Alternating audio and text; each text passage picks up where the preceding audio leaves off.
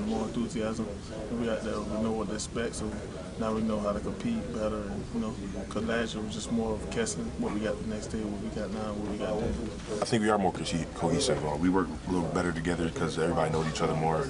People work with each other longer. It's my it's my second year now, and uh, it's gonna be it's gonna work to our betterment because uh, because of the fact that we're more familiar, I guess you could say. Last year is everybody's first first look at how everything worked, and a lot of guys, like older guys, I guess, from last year was more used to the old way of playing defense in Miami. And then Alfred came in, so we have a more experience. So it's not going to be as much of a shock, I guess. Just the cohesiveness, you know, with the teammates and stuff like that. So definitely more confident, you know, going into this, you know, some than that. It's not like you're going into a fight blindfolded. You know, you actually know what to expect.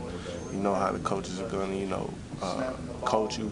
You know how the season is going to go. You know the schedules. You know everything. So it's, it's definitely a comfort level heading up, heading into the summer. Uh, big improvement is the, the maturity. Like guys actually like knowing what they have to do, assignments, and like being physical, stuff like that. We lost a lot of players. We lost a lot of good players. Um, you know, but we we have just just an abundance of uh, just guys that, that, are very talented and a lot of guys that came in that, that, that you know that can play. Coaches, you know, always kind of say that playing offense and defensive line as a freshman is, is the toughest toughest to play because it's so demanding on your body.